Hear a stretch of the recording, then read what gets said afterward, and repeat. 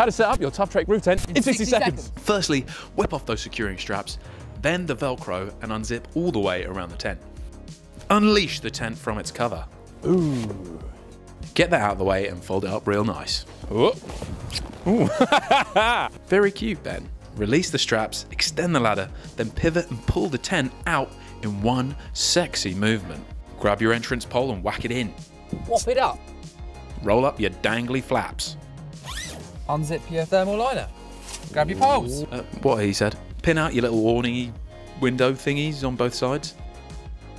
Open up those windows for a bit of fresh air. And finally,